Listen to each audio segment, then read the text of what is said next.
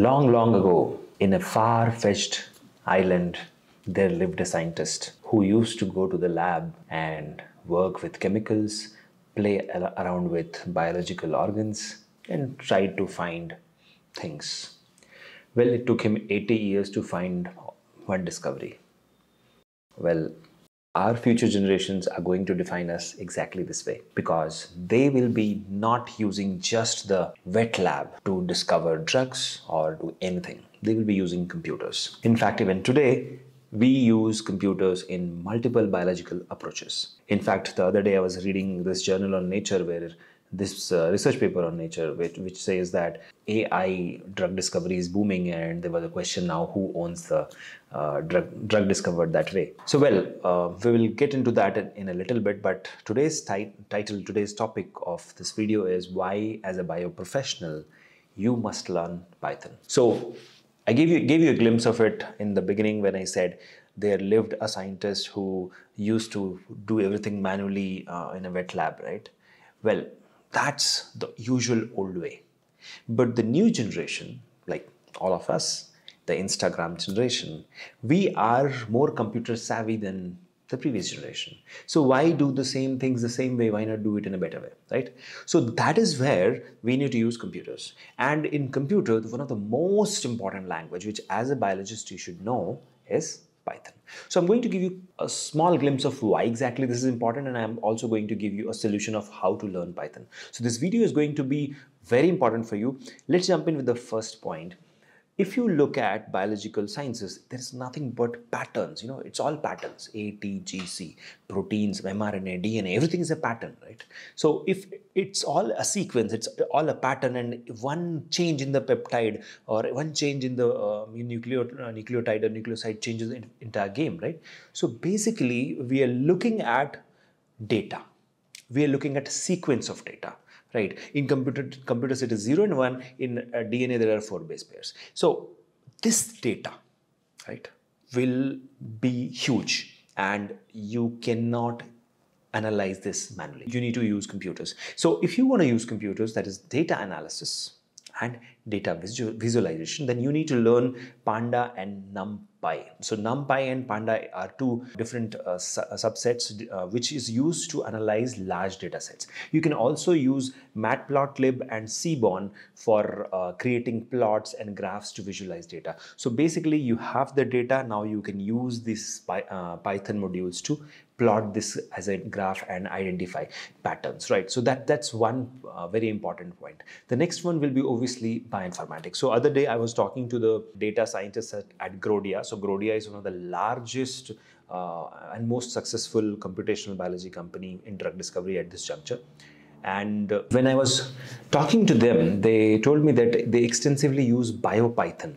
Now, BioPython is basically a collection of Python tools for computational biology and bioinformatics. And uh, they, in their lab, they are doing a lot of, uh, um, you know, se sequencing of data and performing alignments and analyzing protein structure. So when I was talking to them, I was really fascinated and basically Biotecnika has got a uh, branding tie-up with them. So we requested that when, if you guys can spare out some time and train our students. So they said, well, we are very busy and I requested the CEO, um, Dr. Avinash, who is himself is IIT and now he started Growdea.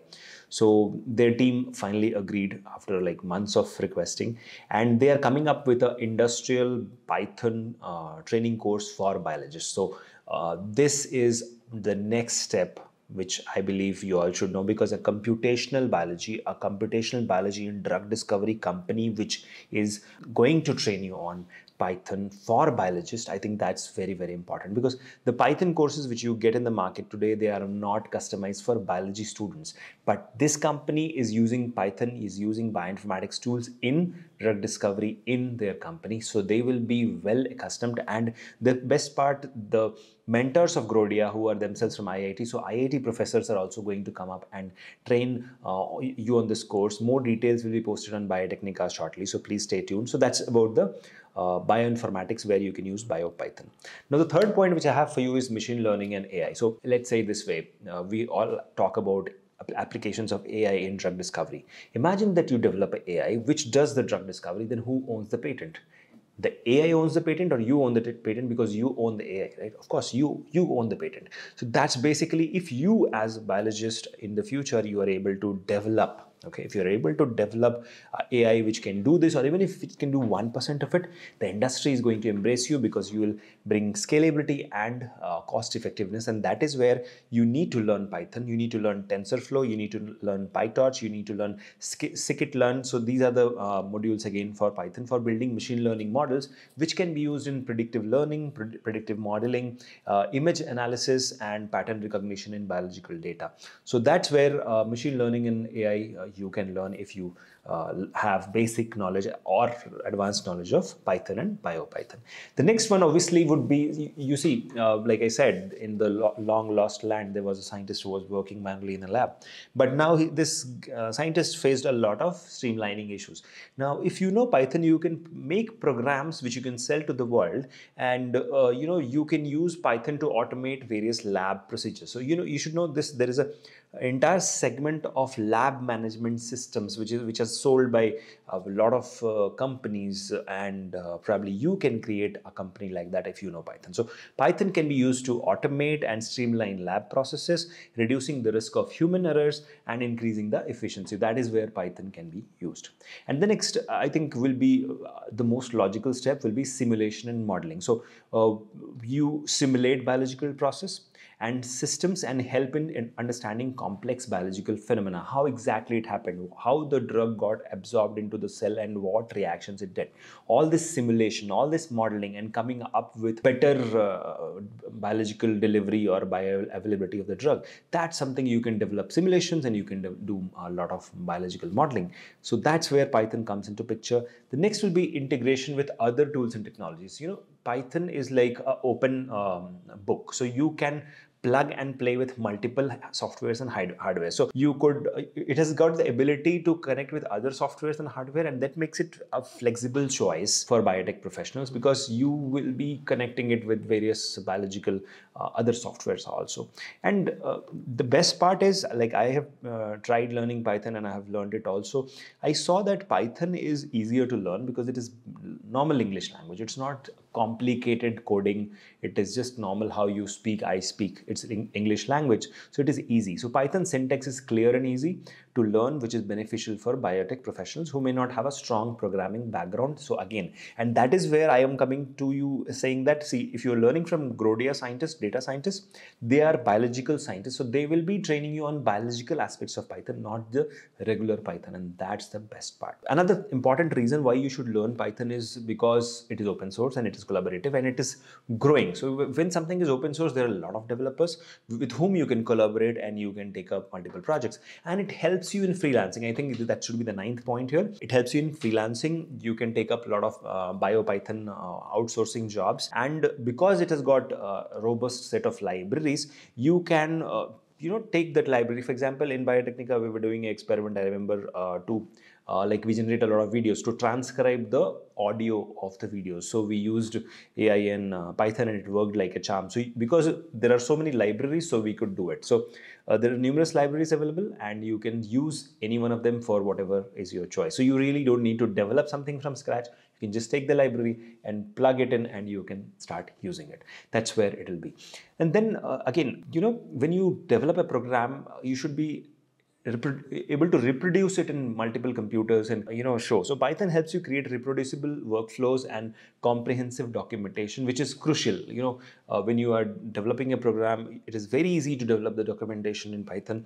It is very easy to design the workflow and it is very easy to reproduce on other uh, workstations. So that is where and the best part so far i have seen is uh, biology is big data and uh, of course like in IBAB you have big data biology um, MSc course also now. So biology is big data and Python helps you handle that big data. So you have libraries li like Dask which you can use as a biotech professional which uh, and you can analyze a lot of uh, uh, big data efficiently using Dask. So that is one benefit you get. Then again of course it has got cloud integrations you can run the entire infrastructure in the cloud and not on your computer. So that makes it very scalable. So suppose your computer has a limitation you can run it in the cloud you can rent out a server and run it and still get the result. So you know that's a great thing. And I remember uh, an experiment which we were doing at biotecnika. It was on Internet of Things, like um, how do you use Python to uh, do something in the real world, like a drone which goes and uh, picks the product and delivers stuff like that. So there you can use IoT. So inter- uh, Python to develop the IoT. So it can be used to collect data from sensors, and uh, you can use IoT devices in biotechnology, and that will be a big boon if you are able to. So Python again will be the base of that, and then uh, I think it will be needless to say that uh, it has got uh, cross-platform compatibility, cross-platform reproducibility. Uh, for example, you you did something on one OS, you can reproduce it on the other OS because Python runs the same way. And the most important aspect is uh, when you are trying to run an experiment, before you actually go full scale, you would like to create a minimum viable product. You will you would like to create a prototype. So a prototype program creating in Python is easy, cheap, and a guy who with basic python knowledge also can do it. So what i believe is uh, it has got multiple and wide applications across the spectrum and it is going to grow in the future. And the best part uh, US has got a lot of demand of uh, Python, BioPython professionals in biology, people who have a biological skill and they want, they can learn, learn Python. And then you have, uh, and it's worth investing your time learning Python because it suddenly, uh, you know, launches you from a dry lab, wet lab scientist to a dry lab scientist. It helps you scale your career and uh, it is not a hardcore biotech job, but it is a scalable job into IT and bio. So that becomes a bio IT job. So bio IT job is going to scale in the future. Right now, I can see Accenture posting a lot of bio IT jobs. I'm seeing Wipro posting a lot of bio IT jobs. I am seeing even uh, multiple US biotech companies posting bio IT jobs, Illumina and uh, Pfizer. So, you know, there are a lot of companies coming up with bio IT jobs. So that's a future which you can walk into if you are enrolling into the course which Biotecnika and Growdea is coming up jointly. Uh, the name of this course is the Industrial Python Training Program by data scientists from Growdea and IIT professors.